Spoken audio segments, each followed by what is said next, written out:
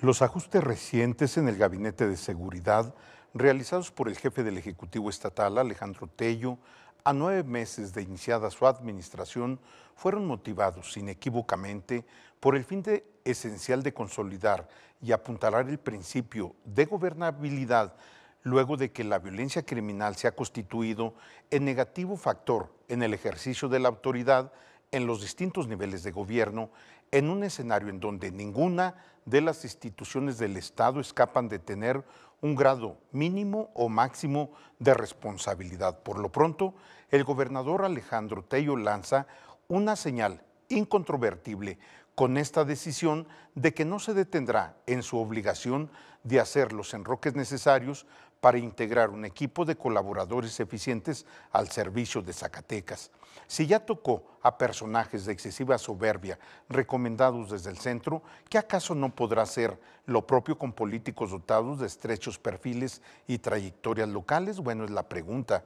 Los tiempos en los ajustes en el gabinete estatal se adelantaron y resultó insostenible la apuesta de aquellos que pensaron que los cambios se harían en el contexto del primer informe de gobierno.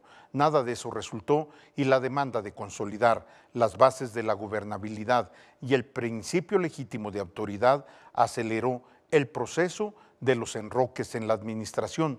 De esta forma, los niveles de inseguridad y de violencia en la entidad operaron como un mecanismo natural que dinamitó los espacios del gabinete que desde la perspectiva ciudadana demandaban inmediata revisión y ajustes.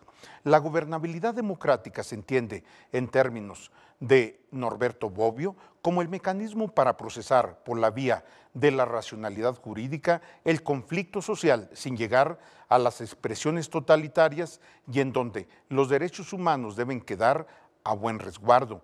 El problema de la inseguridad pública está unido indefectiblemente al tema de la gobernabilidad por varias razones. Primero, porque los altos índices de criminalidad se muestran en la sociedad como una situación disfuncional del Estado ante una falta de incumplimiento de sus funciones básicas. También la inseguridad pública está ligada irremediablemente a la incapacidad del Estado, al descrédito de los gobiernos y a la corrupción prevaleciente particularmente en las corporaciones policíacas, hechos que se deben combatir con firmeza y energía. Existen otros especialistas como Hannah Arendt, extraordinaria filósofa de origen judío, quien en su obra Los orígenes del totalitarismo manifiesta que la violencia criminal es proporcional a los niveles de ilegitimidad e incapacidad de la política, del Estado y de los gobiernos. Hoy la obligación es revisar las funciones del Estado en materia de seguridad pública y redefinir acciones que vayan más allá de la contención policíacas. Luego del ajuste procesado en la Secretaría de Seguridad Pública, se antoja necesario profundizar las tareas de reingeniería institucional de las diferentes corporaciones policíacas que operan en la entidad. De no hacer esto, de poco o nada servirán los cambios efectuados. En nuestro Estado, como en el país, necesario resulta avanzar en la constitución de cuerpos policíacos más profesionales, que sean tratados con dignidad y que recuperen la confianza como aliados de la sociedad y no como sus enemigos.